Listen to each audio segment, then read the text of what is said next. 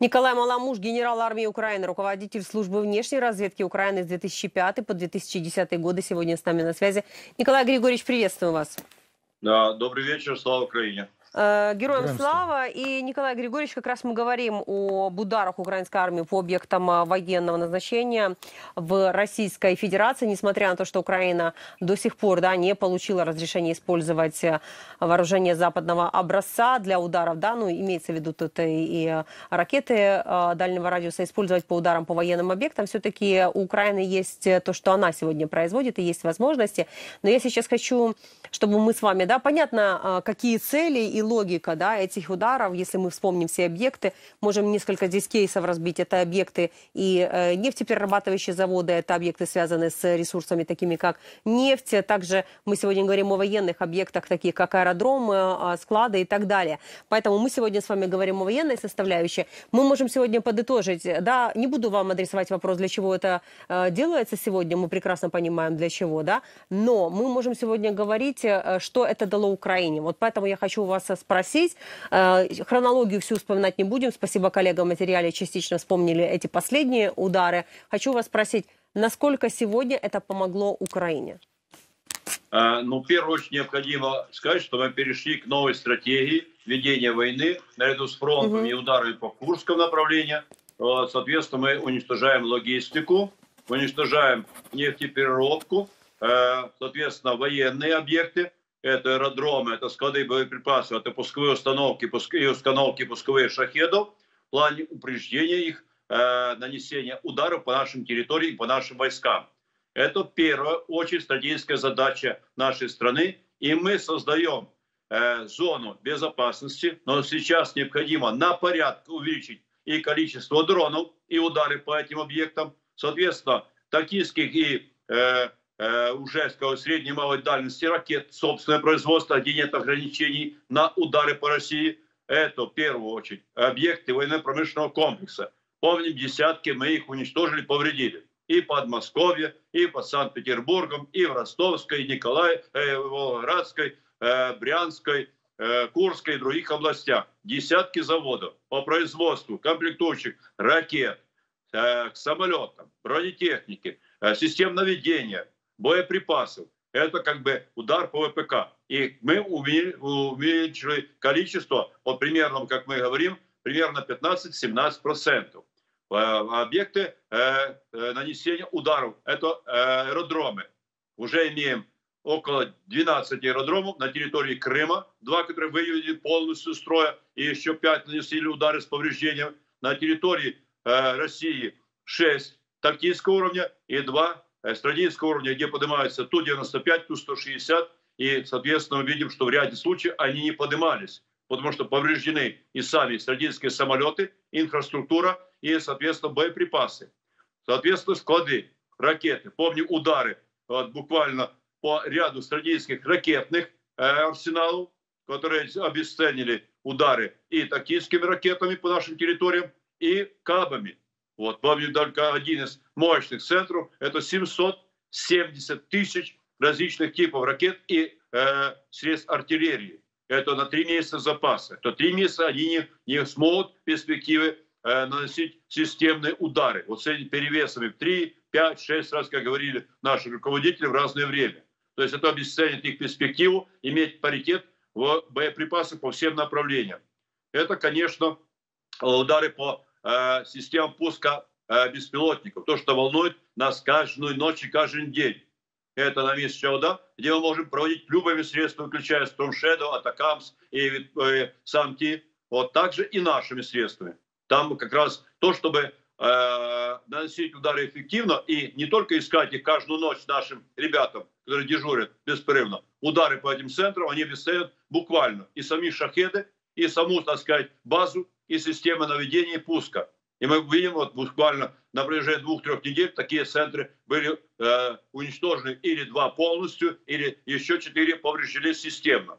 Это, конечно, нефтепереработка. Примерно ценится 18% всей нефтепереработки Российской Федерации, которая идет на фронт. Это танки, это БТР, БМП, это самолеты, это гусеничные системы, это электровозы, это корабли. Вот так вот мы оценим, что уже поднимать эффективно и дальше, так сказать, направлять самолеты в долгие рейды или массово, уже только по этой модели э, обесценивать их ну минимум на 18%, это уже э, э, невозможность и на наступательных операций, массовированных ударов, тем более баражирования, например, самолетов или других средств над нашими территориями долгое время. И видите, самолеты и очень часто уже не поднимаются с стратегического уровня. Есть проблема и в боеприпасах, и в логистике, но, соответственно, и в нефтепродуктах, э, которые они потребляют. Точно так же логистические центры, это те, которые э, смотрят именно э, центры снабжения, ну тоже Керченский мост сейчас практически не работает. Мы уничтожаем и паромные переправы. Фактически обесценили, работает только на 15% и паромная, и, соответственно, сам мост. А если еще добьем, будет ноль полный. Поэтому логистику строят уже через, помним, через Запорожскую, Херсонскую область, аж до Крыма. Но это еще одни цели, которые будут наносить удары, особенно по развязкам, по системе управления железнодорожным транспортом и по самой полотну уничтожать беспрерывно. Это то, что обесценит врага в ближайшее время, хотя мы уже проводим такие удары. Это, конечно, система ударов по центрам управления. Это очень важнейшая составляющая, потому что ее создать, воспроизвести с высокоточным оборудованием, техникой, средствами связи, электроникой и тем более личным составом, это очень сложная модель. Это фактически управление всем агрессивным действием или на конкретном участке фронта, или на широком, если это говорим об армейских или э, групповых, так сказать, решениях, или на уровне центра принятия решений уже глобального направления. Это Восток сейчас думает два объединить округа, которые будут вести и э, западный, и южный, это уже то, что Донецко-Запорожское направление, а центры как раз единый, нанесение ударов, которые мы сейчас проводим пока секторально, обесценивают управление войсками. Это очень важная составляющая, может, малозаметная, но она важнейшая э, для упреждения системных действий противника, подготовки и проведения атак, и фактически это дезорганизация военной машины. Поэтому есть очень конкретные э, уже э, результаты мы начинаем новую эру. Я просто сказал бы, это еще, ну так, уже субъективно скажу, но это точно и наши ребята, и все остальные оценим. Еще мало это делаем. Вот, например, они поднимают самолеты с кабами, это и для наших воинов очень сложная тема. В том же, так сказать, сейчас э, Селидово, например, Торецке, в других городах. А нанесение ударов по этим аэродромам, они максимум до 300-350 километров нашими дронами, нашими ракетами, беспрерывно их мы уже делаем сотни тысяч в месяц. А это может быть тысячи в день. Вот они не поднимут ни один самолет, ни тактический, ни стратегический. Это просто их за, забить там. Они будут поднимать ППО, другие средства, но мы их не дадим дальше, так сказать, поднять. И в этой ситуации mm-hmm. нет по инструкции возможности поднять самолет. Ни стратегический, ни тактический. Та же самая пусковая установка ракет, та же самая пусковая установка шахедов. Ну и, конечно, говорим, боеприпасы, переработка, это само собой вот таким способом обесценить все резервы и возможные удары, как по миру населению, аж до Львова, так и по нашим войскам. Я думаю, такая сейчас тактика разрабатывается. Единственное, что сейчас пошли единым строем разноплановые модели, которые дадут хорошие результаты. Николай Григорьевич, немного разовьем тему в неожиданном направлении. Издание «Проект» написало о том, что в Сочи снесена правительственная резиденция Бочаров-Ручей. Эта резиденция существовала 90 лет, с 1934 года. Эта государственная дача была построена для Климента Ворошилова, известного. После 60-х годов это стало местом отдыха генеральных секретарей и высшего партийного политического руководства Союза. А с 91 года это основная а, резиденция президента России на берегу Черного моря. И вот эта резиденция снесена. Это, кстати, одна из любимых резиденций Путина. Там он принимал мировых лидеров, там был создан создана точная копия его московского рабочего кабинета. И вообще, как э, замечают люди, следящие за перемещениями Путина, жители Сочи, с Нового года он боится летать туда предпочитая наземный транспорт, железнодорожный. И вообще есть версия, что он туда вообще не ездит. Вы связываете это с темой нашего разговора? Я полностью связан, потому что мы уже наносили удары как раз по окружению в Сочи, по разным, так сказать, объектам, включая системы э, защиты, и панцирь не срабатывал.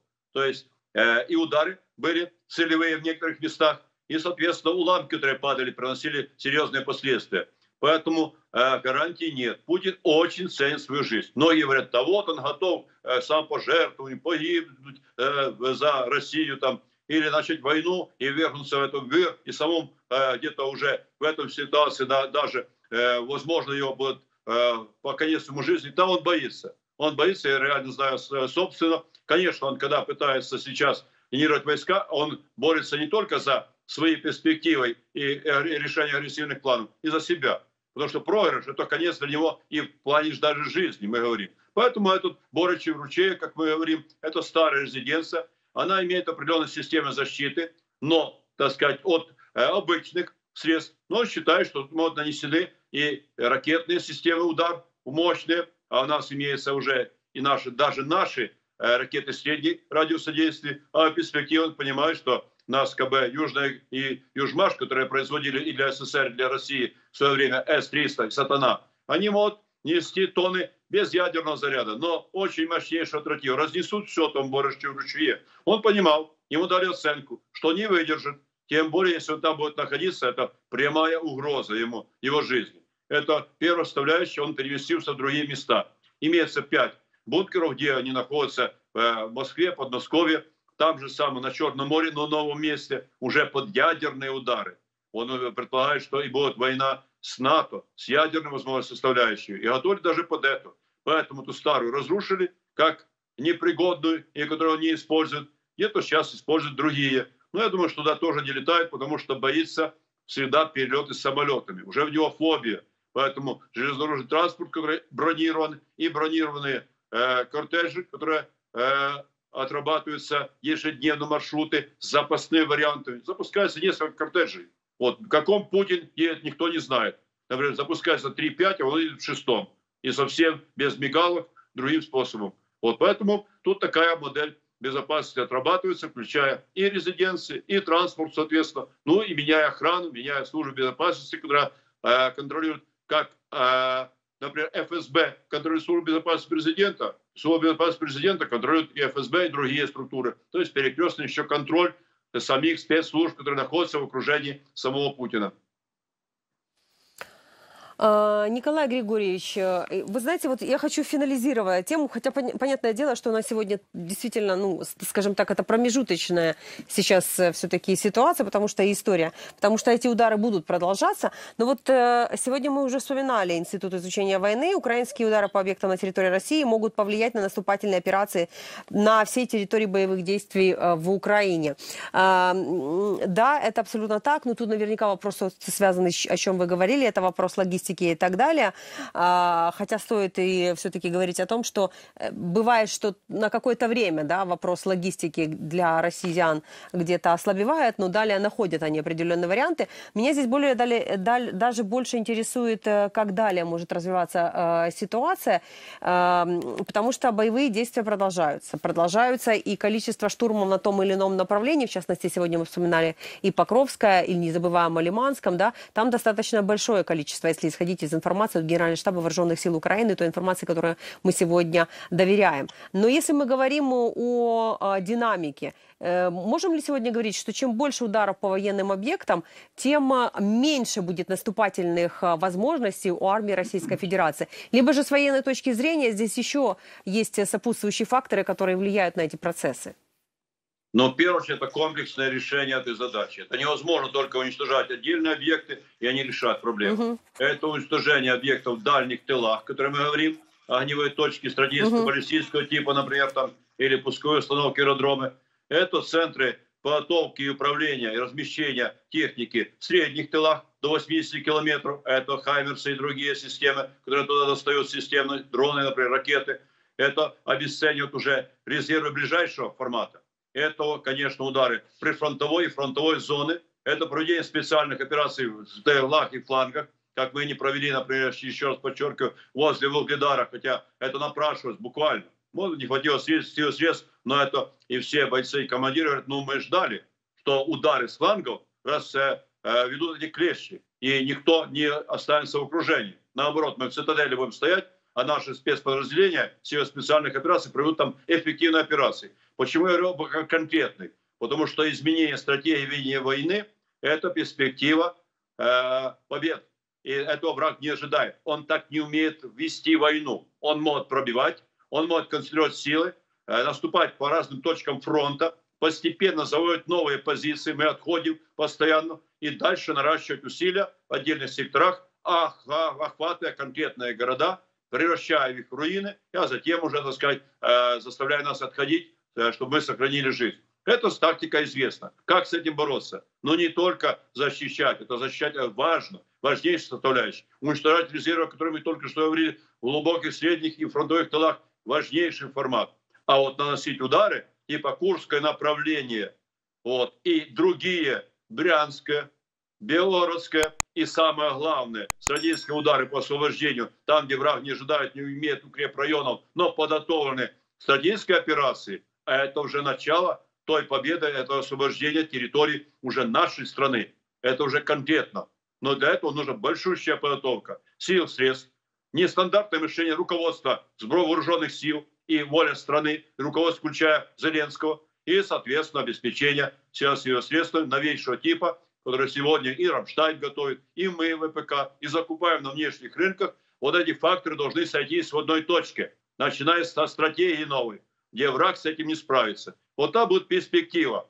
Если мы говорим только то точно, там бить, там бить, это важно, но она не решает комплексную задачу. Тут только все элементы должны быть в совокупности, выверены, подготовлены, секретно э, сориентированы, потому что большая проблема была, да, сам Зеленский говорю, выдача перед летним наступлением 23 года информации прямо в Кремль на столе лежала о нашей операции. Но абсурд, вот такого в принципе мысли него должно быть. А оно состоялось.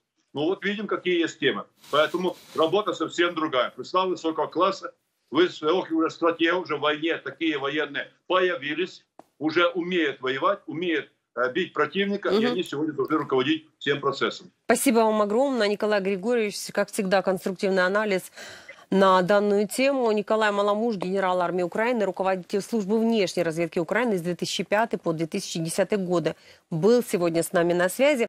Оперативные новости, эксклюзивные видео с линии фронта. Глубокие аналитические обзоры и только самые авторитетные спикеры. Подписывайтесь на YouTube-канал Freedom, чтобы не пропускать главного.